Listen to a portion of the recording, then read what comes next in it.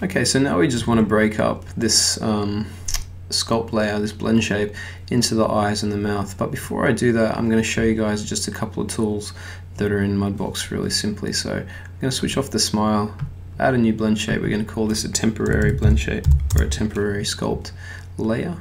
And I'm going to show you how sort of this works. So just say we were to come in here and make a bit of a fat face happen, like something like this. Something just really simple. He's just gone a bit fatter. So blend that off. Yeah, so we've got this weird fat face. Now uh, we now have a, a, sculpt layer making a fat face, as you can see. And uh, this could be used as a slider, just like before. Now, uh, with this sort of, sort of sort of selected, we now have two tools. We've got the mask, and over here we've got the erase. So mask and erase. And what the erase, the mask tool will do, sorry, is it will just sort of come in here and wherever we paint, we're sort of painting out that shape. So I can come in here, paint over the whole face, and we're basically painting out the whole of that. And at any stage, if I want to come back and get it, get, get it back to how it was, we can just hold our control key, and I'm now painting that sculpt layer essentially back in. So this is a form of non-destructively getting rid of our uh, sculpt layer because by painting it out, it's still there, but we just sort of got a mask over this area so that uh, it's kind of like in Photoshop with the mask, same, same sort of scenario, is that we can paint it in and out and paint it and get that sort of like that shape back. Now the disadvantage of this is if we were to paint that sort of section of the face out like this, see that it's sort of painted out, uh, now we can't actually very much, it's quite hard for us, it's quite difficult for us to actually come in and grab this section of the face here. Now uh, it's sort of like um, a bit dangerous to do that because what I've actually done is I actually have grabbed the mesh and moved it out but uh, if we were to bring it back again so I'm gonna get the mask and then control click on this. See I actually have moved the mesh out but we're just not seeing it because it's been masked out. So this is a, a real uh, problem uh, because I was actually just grabbing that mesh before and moving it around. But uh, you're just not seeing uh, the difference that's happening because the mask is masking that area out. Okay so I'm going to undo this a little way until we're back to this fat face.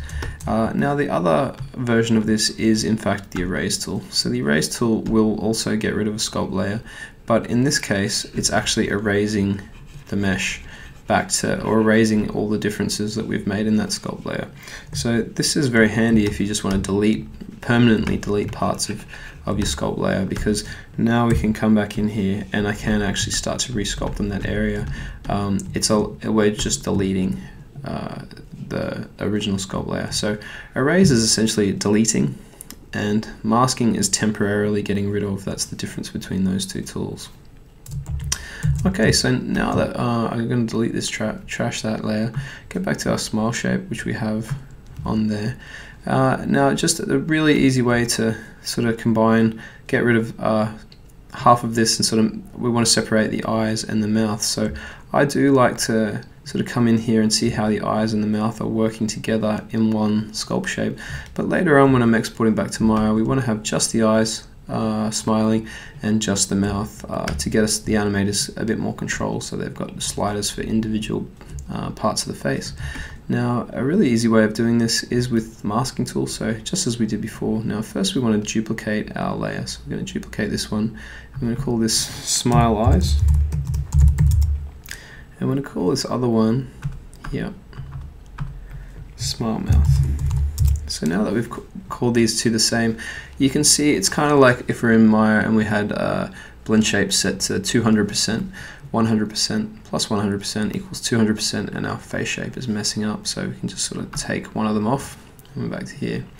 Now with the smile mouth we just want the mouth to operate and not the eyes so we can just use the mask tool sorry, I'm just trying to go uh, brush a bit smaller with the B key. And we can just now paint out the smile that's happened on that eye kind of section. So you can sort of see here, using a bit of the, the, um, the shift.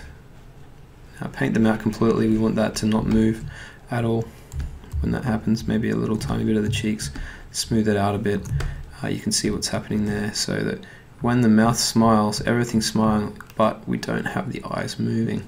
Now I'm going to switch that off. We're going to switch on the smile eyes, and we're going to do the, the reverse of that. So we can actually come in here and we can just go uh, and paint out uh, this time the face. So just painting out all that sort of stuff that happened there. Make sure we've definitely got it around there. The ears too, let's get rid of them. Really big brush. Make sure we've got nothing kind of accidentally selected down here. Uh, and now you can see that we've just got our eyes kind of working. And you also want to just check this sort of joining part of the face just to make sure that they're blending together nicely, which I think they kind of are. Maybe on that smile eyes we don't want to have so much of that cheek moving so we can just come in here and with the mask still selected in that smile eyes just paint that out a little bit and there we go we can see just want to paint some of that out